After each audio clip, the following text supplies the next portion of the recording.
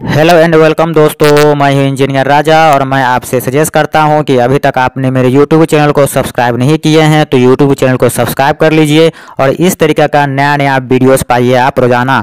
मेरे पास काफ़ी सारा कमेंट आया हुआ है और उस सब में एक ही बात पूछा गया है कि सर हमें दिल्ली में DTC बस के लिए बस पास ऑनलाइन कैसे अप्लाई किया जाता है, इसका एक कंप्लीट वीडियो बना के दिखलाइए। सो so गाइज़ मैं आज आपको इस वीडियो में डिटेल्स से दिखाने वाला हूँ कि किस तरीके से आप डीटीसी बस के लिए बस पास आप ऑनलाइन कैसे अप्लाई करेंगे, वो भी आप अपने मोबाइल फ़ोन से, आप अपने लैपटॉप से घर बैठे। तो चलिए वीडियो को शुरू करते हैं।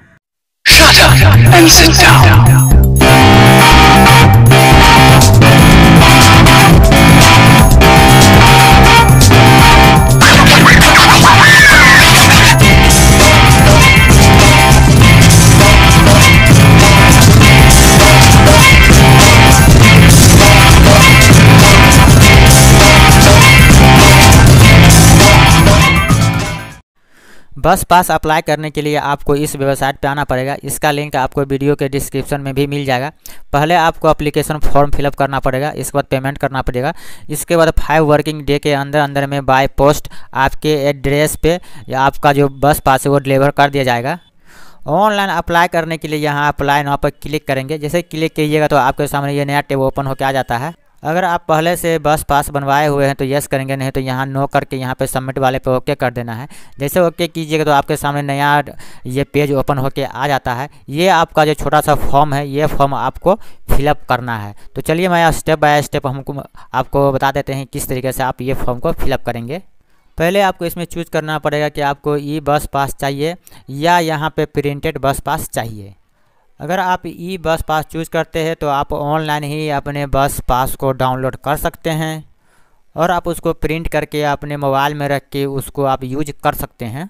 लेकिन अगर आपको प्रिंटेड बस पास चाहिए तो आप इसको चूज़ करेंगे प्रिंटेड बस पास इसके बाद यहाँ पे अपना फुल नेम यहाँ फादर नेम या इसके बाद यहाँ पे अपना डेट ऑफ़ बर्थ इस कैलेंडर में से चूज़ कर लेना, जो भी आपका डेट ऑफ़ बर्थ है तो यहाँ से जाके आपको इस, इसमें से अपना डेट ऑफ़ बर्थ चूज़ कर लेना है। जैसे आप डेट ऑफ़ बर्थ चूज़ करते हैं, यहाँ पे आपकी एज आ जाएगी, यहाँ पे से जेंडर आपको चूज़ कर लेना है मेल फीमेल या ट्रांजेस्टर है, जो भी है, इस तरीके से आपको यहाँ पे चूज़ कर लेना है।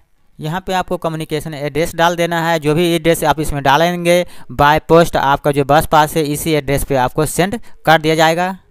तो आप इसमें हाउस नंबर ज़रूर डालिए, इसके बाद यहाँ सिटी नेम डालिए, यहाँ पे अपना पिन कोड डालिए, इसके बाद यहाँ पे आपको, यहाँ पे रीजनल चूज़ कर लेना है, दिल्ली, एनसीआर कहाँ से है तो आपको इसमें से चूज़ कर लेना है। इसके बाद यहाँ पर अपना ईमेल आईडी और एक मोबाइल नंबर यहाँ पे डाल देना है। यहाँ पे बस पास की आपको डिटेल देनी होगी।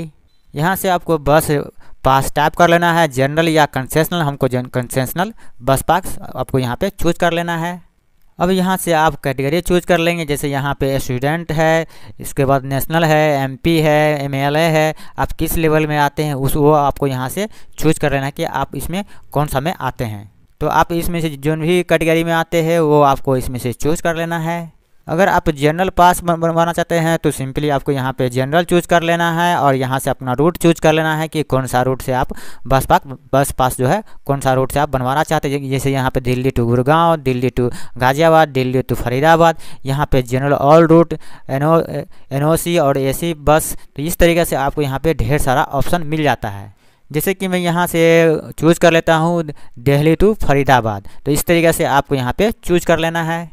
यहाँ पे चूज़ कर लेना है कि पास कौन सा डेट से चाहिए। जैसे मैं यहाँ से चूज़ कर लेता हूँ नेक्स्ट मंथ में मैं चूज़ कर लेता हूँ। यहाँ पर मैं एक फरवरी से यहाँ से चूज़ कर लेता हूँ। मंथ आपको चूज़ कर लेना है वन मंथ के लिए। तो यहाँ पर आपको देखिए इस तरीके से आपका डेट सेलेक्ट हो जाता है। इसके बाद यहाँ पर आपका अमाउंट भी आ जाता है। तो यहाँ पे आप देख रहे हैं कि दिल्ली टू फरीदाबाद के लिए वन मंथ के पास बनवाने के लिए यहाँ पे आपको अट्ठारह सौ रुपये का पेमेंट करना पड़ेगा।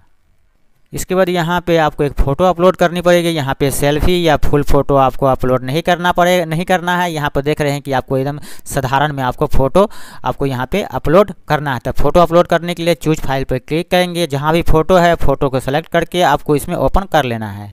जहाँ भी फ़ोटो है फ़ोटो को आप हाफ़ फ़ोटो लेंगे पासपोर्ट साइज़ का फ़ोटो लेंगे फ़ोटो को लेके यहाँ से सेलेक्ट करके यहाँ पे आपको ओपन कर लेना है। जैसे देखिए यहाँ पे फ़ोटो इस तरीके से आपका होना चाहिए फ़ोटो को सेलेक्ट करेंगे, इस तरीके से ओपन करेंगे, देखिए ये फ़ोटो आपका यहाँ पे इस तरीके से आ जाएगा। ये कैप्चा है, आपको इसमें कैप्चा डालना है और आपको इस तरीके से पासपोर्ट साइज़ का फ़ोटो अपलोड कर देना है। यहाँ पर देख रहे हैं कि एक फ़ोटो का साइज़ भी है जो ट्वेंटी के से लेके फिफ्टी के के बीच में होना चाहिए। इसके बाद ये कैप्चा डाल के यहाँ पर हम सबमिट करते हैं। कैप्चा कैपिटल में है तो कैपिटल में स्मॉल में है तो स्मॉल में आपको रखना अगर कैप्चा समझ में नहीं आता है तो कैप्चा को यहाँ से जाके इसको इस तरह से रिफ्रेश भी कर सकते हैं। आपके सामने इस तरीके से पूरे डिटेल आ जाएगी। यहाँ पे आप अपने पूरे डिटेल डिटेल को एक बार देख ले सकते हैं। अगर लग रहा है कि इसमें कुछ गलत है तो यहाँ से बैग जाके आप इसको करेक्शन कर सकते हैं। अगर लग रहा है सब कुछ सही है तो यहाँ के डिक्लेरेशन को एक्सेप्ट करेंगे। एक्सेप्ट करने के बाद यहाँ सेंड ओ टी पे क्लिक करेंगे। क्लिक करते ही यहाँ पे आपके रजिस्टर मोबाइल नंबर पे एक ओटीपी आएगा। ओटीपी डाल के आपको यहाँ पे सबमिट करना है। इसके बाद यहाँ पे आपको पेमेंट करना होगा। यहाँ पे आप देख रहे हैं कि यहाँ पे हम जो है बस पास जो का चार्ज अप्लाई किए थे, वो यहाँ पे आप बस पास जो है पोस्टल डिलीवरी चार्ज आपको यहाँ पे छप्पन रुपया देना पड़ेगा। तो यहाँ पे हम जैसे प्रिंटेड बस पास जो अप्लाई किए थे तो इसीलिए हमको यहाँ डिलीवरी चार्ज भी यहाँ पे देना होगा। जैसे यहाँ पे देख रहे हैं छप्पन रुपया। इसके बाद पेन आप ओके करेंगे।